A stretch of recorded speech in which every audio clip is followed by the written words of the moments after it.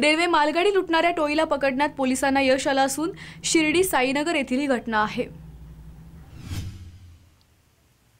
राहता तालुक्यातील Shirdi Sainagar railway station R P F अंतर्गत येवला रेल्वे स्टेशन येथे मध्यरात्रीच्या सुमारास गुप्तसूत्रांच्या आधारे क्रॉसिंगसाठी गाडी थांबली असता रेल्वे पोलिसांना चोरी होत असल्याचं समजताच पोलिसांनी त्या ठिकाणी चोरी करताना दोन आरोपींना शेहेचाळीस साखर गोणीसह पकडलं आहे.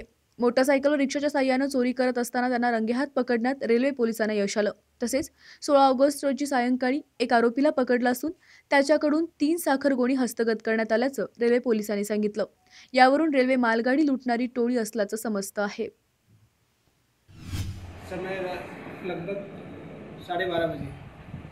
मुख्य खासी सूचना मिली थी कि येवला रेलवे स्टेशन पर कुछ बाहरी लोग रेलवे मालगाड़ी खड़ी है उसमें से कुछ सामान निकाल रहे हैं। सूचना मिलने पर मैंने उप निरीक्षक कोपर गाँव एम के दैया को सूचना दिया कि आप तुरंत स्पॉट अटेंड करें और मैं खुद अपने स्टाफ को लेकर येवला रेलवे स्टेशन पर पहुँचा। तो वहाँ पे जाकर देख पाया कि दो बाहरी व्यक्ति उन्होंने, जिनके ताबे में 46 नग शुगर के जो रेलवे मालगाड़ी से चुराए हुए थे, उनके साथ उनको पकड़ा।